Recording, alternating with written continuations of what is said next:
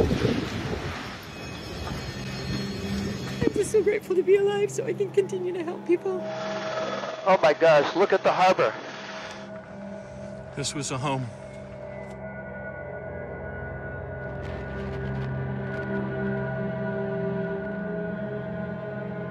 All the, the cars with full gas tanks that reached the fire, they were exploded.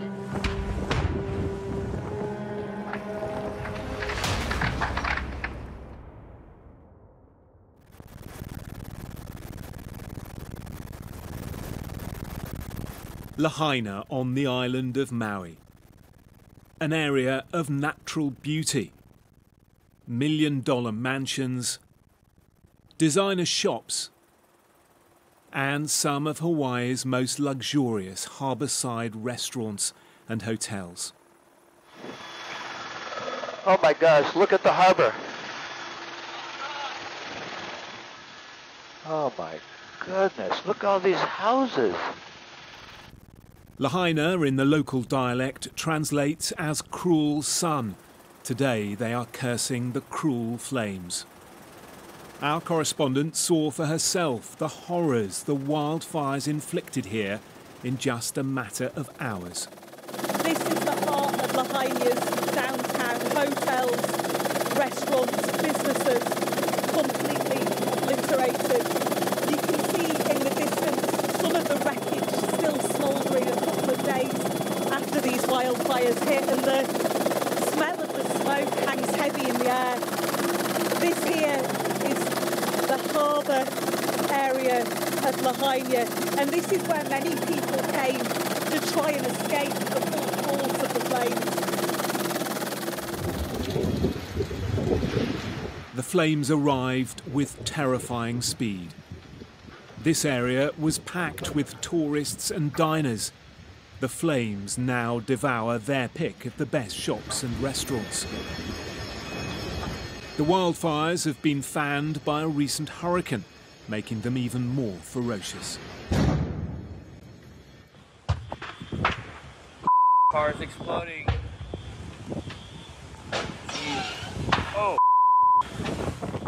Dozens are dead, and residents are warned to expect more bodies to be found. The stories of those who survived are simply remarkable. With just moments left to act, Idris and Damon jumped into the ocean and clung to a jetty for hours to stay alive. We keep hearing explosions. We were scre- hearing screams out of a horror movie. You know, I called the cops again. They couldn't come. The third time I called them, they- they said, you have to go in the water. And I said, you want us to jump in the hurricane? It's black, you know. The ocean was pulling us at the same time. We were trying to, had debris falling on us. We're trying to get wet and not burn. I didn't think, I just prayed and I said, God, please not today. I, I, I didn't know what to say. I was, this is it. Most of this town has been destroyed. Wisps of smoke and ash, pretty much all that's left of homes and businesses. Yeah, choke smoke, and I couldn't tell where, where I was sometimes, and sometimes I could. You know, it's a short road, front street. If you guys walk down the street, you see it's completely burnt. And I feel like we're not getting the help we need. You know? Oh my God. Looking up the hillside, all the homes are gone, all the buildings are gutted. Uh, it, it looks like like a war zone, like from just total destruction.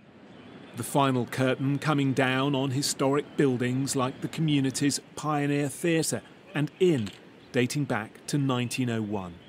It was devastating. It felt like a war zone, and it was still fresh. I could see trees burning, I could feel the smoke, I could feel the heat, and it was basically like like another pandemic. To explain it, it was a ghost town, very apocalyptic. And as our mobile unit was driving through, we started seeing some people come out of the woodworks, like survivors. Only a few days ago, this harbour was buzzing with fishing trips, sightseeing tours, and party boats. Tourists and holidaymakers are evacuating Hawaii, incredulous at what has happened in such a short space of time.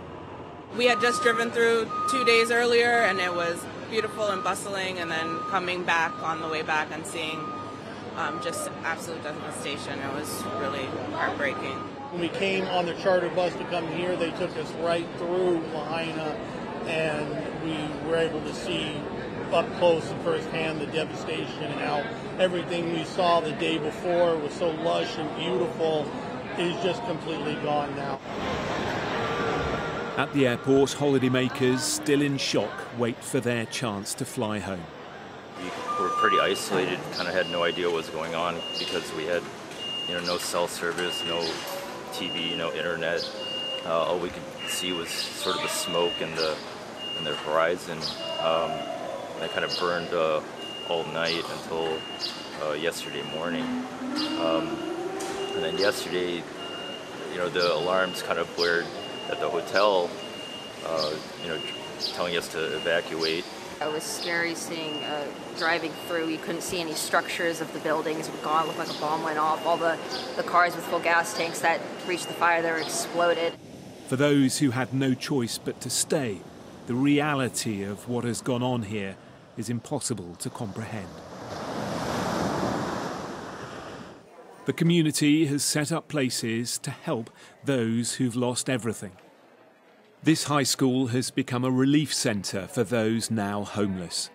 Candy escaped on her moped, grieving for those who couldn't get away. All I want to do is help people. I'm just so grateful to be alive. People are found in houses in a huddle, holding each other because the fire surrounded their homes before they could even get out. There was nowhere to go. And these are beautiful homes that are very old and they're made of wood. Those went up like a matchstick. Nobody had warning. Christina was on holiday. Her hotel was evacuated and she has spent two nights at the shelter. The Red Cross is here. The people are so kind. You know, we have food, we have water, and a place to shower, and people who love us. We must feel lucky. We feel very lucky, very blessed. Some essentials may be in short supply, but there's an excess of volunteers willing to help where they can. They lost everything. Everybody lost everything. Uh, we don't know how to feel. I don't know how you guys are supposed to feel. I'm, I'm a little worried because I have a four-month-old and a two-year-old. Um, I have dogs.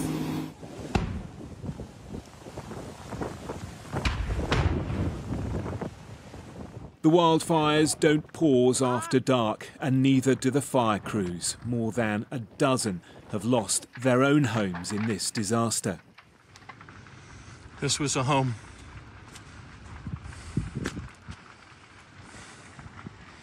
There's their car.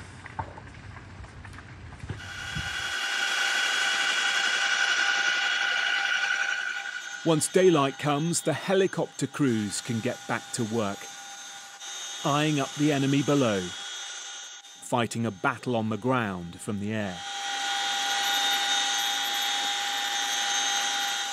Hawaii is no stranger to wildfires, but never on this scale. The president has heard the pleas for help. We have just approved a major disaster declaration for Hawaii, which will get aid in the hands of the people desperate desperately needing help now. They've lost, uh, anyone who's lost a loved one whose home has been damaged or destroyed is going to get help immediately.